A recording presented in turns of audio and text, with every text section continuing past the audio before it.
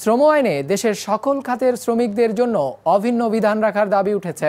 সেই সঙ্গে দুর্ঘটনার ক্ষতিপূরণ আর মালিকের শাস্তির মাত্রা বৃদ্ধিরও দাবি তুলেছেন শ্রমিক নেতারা।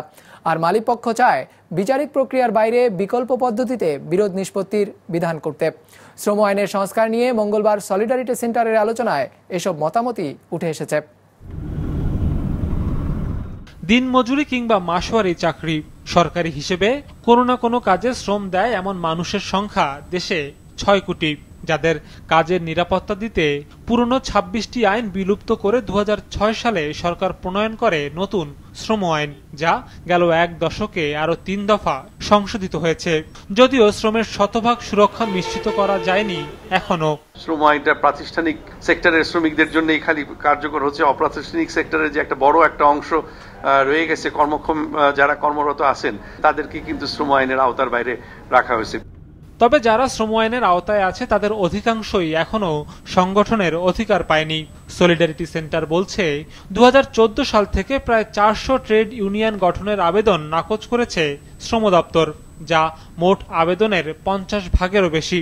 শুধু তাই নয়, আইনের পার্থক্যের কারণে ইপিজেডে ট্রেড ইউনিয়ন নিষিদ্ধ করা হলেও সেখানকার আটাত্তর ভাগ শ্রমিকই সংগঠনের অধিকার চায়, যা বাস্তবায়নে এখন আইনের পরিবর্তনের দাবি তুলেছে শ্রমিকরা।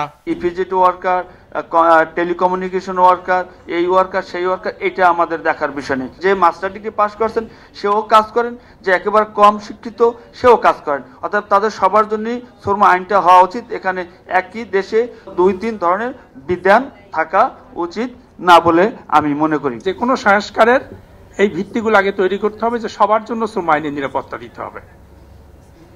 এবং কতগুলো জায়গায় কোনো ছাড় দেওয়া যাবে না? একটা হচ্ছে নিরাপত্তা ক্ষতিপূরণ। বাংলাদেশের আইনে ক্ষতিপূরণ হচ্ছে এক লক্ষ টাকা। এবং আমরা আশা করেছিলাম, এবারে সংশোধনীতে মালিকদের পক্ষ দিয়ে বলা হবে যে ক্ষতিপূরণের পরিমাণটা বাড়ান।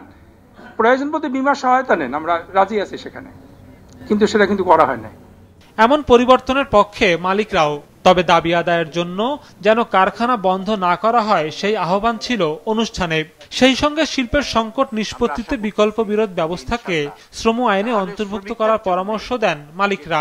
আমরা যদি এডিআর এর মাধ্যমে এই লেবার লর মধ্যে নতুন যে আইনটা যে সংশোধনী আসবে, সেখানে যদি এটাকে ইনক্লুড করতে পারি, তাহলে কিন্তু আমরা নিশ্চয়ই শ্রমিক মালিক সকলেই আমরা লাভবান হব।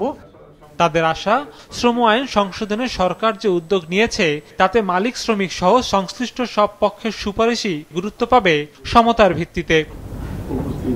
Sourav Rahman business report Maasranga television